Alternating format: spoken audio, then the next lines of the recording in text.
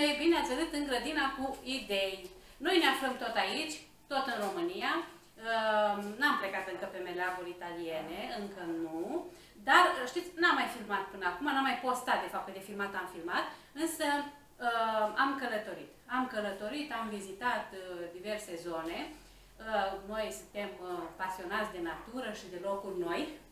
Și cam fiecare an am ajuns la concluzia că în țara asta sunt milioane de locuri superbe. Ehm, și anul trecut am fost, anul trecut am fost în Maramureș, am vizitat Maramureșul cu tot ce cuprinde el, ehm, dar anul trecut nu eram cu YouTube-ul, deci n-am, am câteva fotografii, dar n-are sens să le pun acum.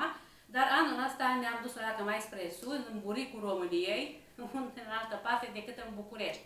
Am vizitat câteva chestiuni acolo în București, am fost prin Ploiești, am vizitat uh, și vulcanii noroioși uh, și mm, m-am gândit să vă pun așa, să fac, inițial am vrut să fac un, așa, ca un uh, tur, ca un periplu, să zic așa, pe unde am fost noi, într-un singur filmuleț. Dar după aia am zis că, domnule, e prea mult, o să plictisi oameni și așa se plictisesc ei repede și nu prea au răbdare să vadă toate prostiile pe care le pun eu pe, pe YouTube. Am spus să le pun așa, fracționat. Acum, na, vreau să vă spun că țin morțil și țin neapărat să împărtășesc cu voi locurile pe unde am fost.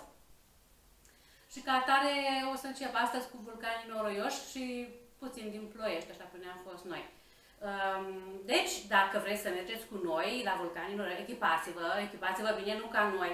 Să vă spun ce am pățit. Eu și cu Teodora. Noi, excursionistele lui Moș Pește, ne-am dus la vulcanii noroioși, ghici cu, ghiciți cum în echipate, în sandale. Ați mai auzit? În sandale.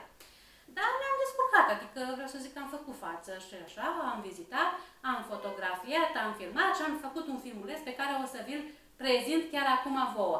Dar înainte de a trece la imagini, uh, vreau să vă spun că o să urmeze alte filmulețe prin locurile unde am mai fost, ce am mai vizitat noi, Uh, fără un intro.